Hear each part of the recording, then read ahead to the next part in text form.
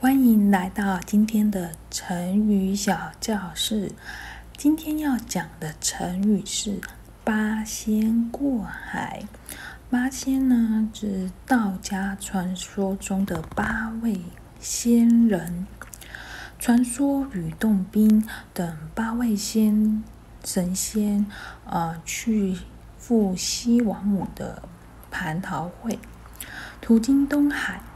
只见巨浪汹涌，吕洞宾提议各自投一样东西到海里，然后各显神通过海。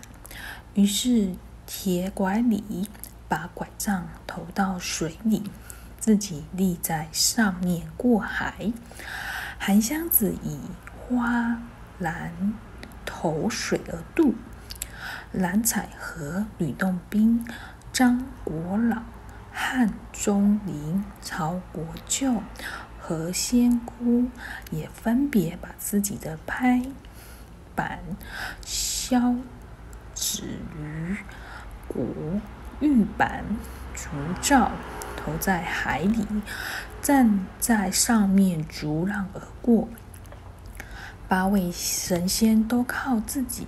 的神通顺利渡过了东海，所以八仙过海比喻自有一套办法或本领去解决问题。今天的成语是八仙过海。